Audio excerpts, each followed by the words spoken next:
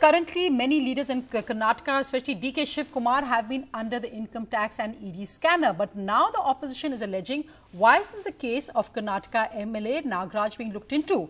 Who is Nagaraj? So he's a controversial rebel MLA. He was extremely rich. But now, in the months since he quit as an MLA, he's actually had over 50 deposits, which total up to over 50 crores. This has been filed by him in his election affidavit. He filed his nomination as a BJP candidate uh, today from Hoskote. The question being, where has this money come from? When NDTV tried to contact him, there was no response. But the opposition is saying, why isn't his case being investigated of over 50 deposits of over 50 crores? MTB Nagaraj joined the BJP along with 15 other disqualified MLAs and has been given the party ticket for Hoskote, the seat he won for the Congress in 2018.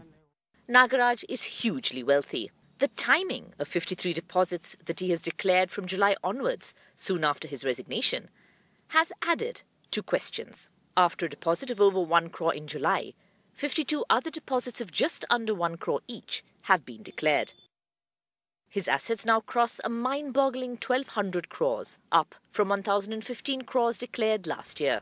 The Congress and the JDS have always maintained that their MLAs were lured away by the BJP to bring the coalition government down.